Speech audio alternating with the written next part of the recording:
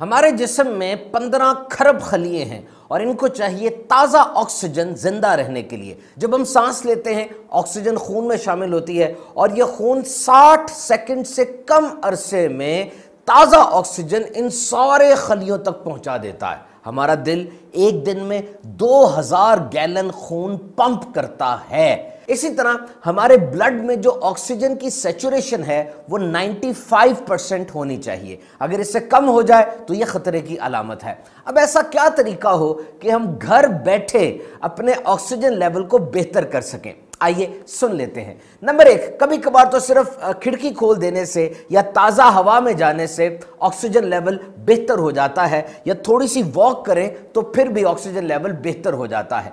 Number two, फेफड़ों की exercise कीजिए, जिसमें नंबर वन, डायफ्रेगमेटिक एक्सरसाइज है, यानी आप सांस लें नाक से तो चेस्ट ना फूले, बल्कि डायाफ्राम फूले, जिसमें पेट फूलता हुआ महसूस हो।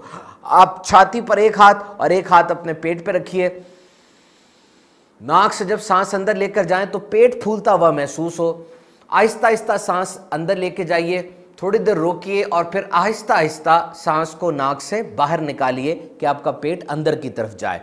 दूसरी एक्सरसाइज वो पर्स्ट लिप्स है। यानी आप नाक से आहिस्ता आहिस्ता सांस अंदर लेकर जाएँ और फिर मुँह के होठों को गोल करके सांस बाहर निकालें।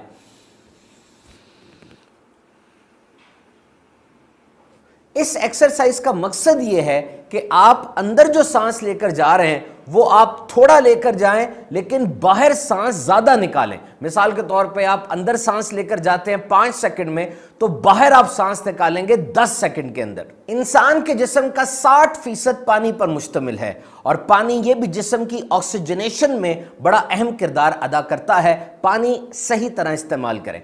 ऐसी गजाएँ जिनमें एंटीऑक्सीडेंट्स शामिल हों, इनको ज़रूर खाएँ। इससे जिसम की ऑक्सीजनेशन जो है, ऑक्सीजन का अमल वो बेहतर होता है। इसमें ब्लूबेरीज हैं नट्स हैं, और भी दीगर अशिया शामिल हैं। एक्टिव रहें, चलते फिरते रहें।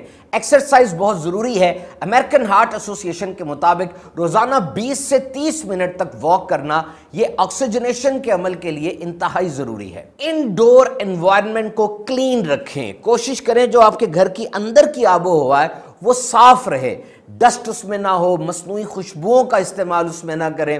इससे भी ऑक्सीजनेशन का अमल मुतासर होता है। आमतौर पर ऐसे घर जहाँ पर घरों में चूल्हे जलाए जाते हैं, अंदर लकड़ी की धुआँ होता है, उधर बहुत ज़्यादा आलूदगी पाई जाती है। याद रखिए, मास्क पहनने से सांस लेने के अमल में कोई फ़र्क नहीं पड़ता, बल्कि ऑक्सीजन वही रहती है। मास्क ज़रूर इस्तेमाल कीजिए।